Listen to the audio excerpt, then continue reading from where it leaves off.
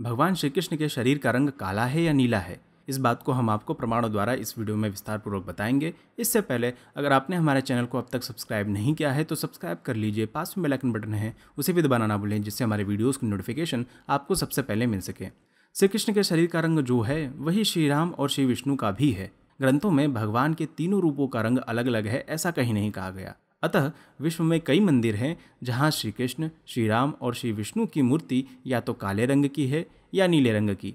और कहीं नीले काले रंग में भी बहुत अंतर है। कुछ स्थानों पर हल्के नीले काले रंग की प्रतिमा है तो कुछ स्थानों पर गहरे नीले काले रंग की प्रतिमा है। चित्रकारों ने भी कुछ इसी प्रकार के चित्र बनाए हैं। तो प्रश्न यह है कि भगवान का रंग वास्तव में कैसा है? कौन सा रंग सही है? भगवान के रंग के बारे में कहीं तो यह कहा गया कि वो श्याम रंग के हैं।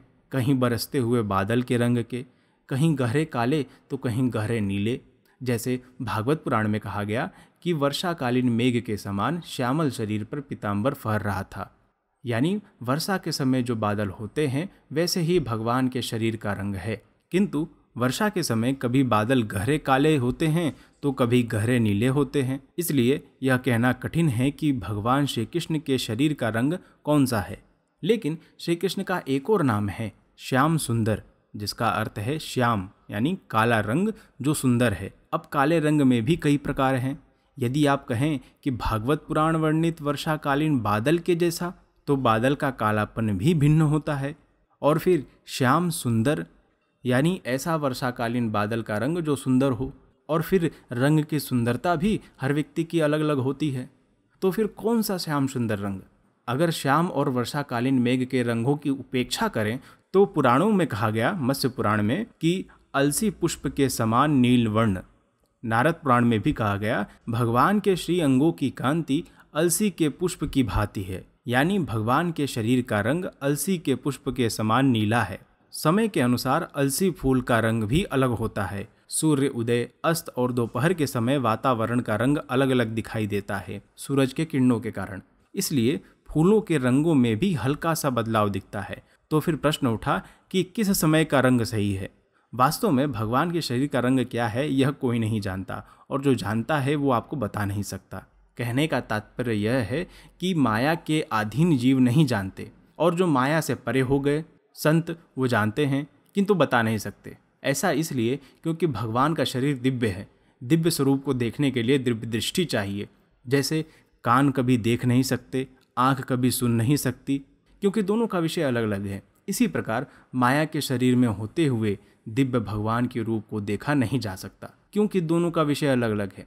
इसीलिए गीता में श्री कृष्ण ने अर्जुन से कहा कि, हे अर्जुन, तू अपने इन प्राकृत नेत्रों द्वारा मुझे देखने में समर्थ नहीं है, इसलिए मैं तुझे दिव्य चक्षु देता हूँ। इससे तू मेरी ईश्वरीय योग को देख।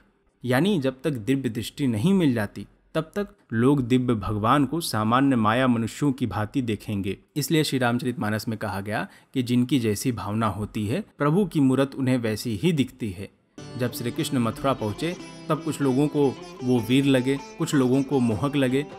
योधन को नाथ परम योद्धा अविजित अतुलित बलवीर लगे। शस्त्रन से अंग सुसज्जित हैं रणधीच खड़े रणधीर लगे।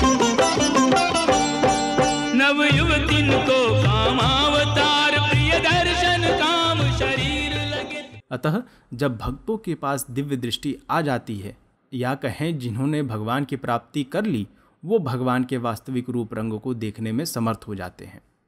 अस्तु, चूँकि दिव्य रंगों की तुलना दिव्य रंगों से ही हो सकती है और माया के रंगों की तुलना माया के रंगों से ही हो सकती है, इसलिए वास्तविक रंग बताना संभव नहीं है। अतः संत भक्त भगवान के उस दिव्य रंग को बताने में असमर्थ हैं। इसलिए उन्हें जो रंग उचित लगा, वो रंग कह दिया।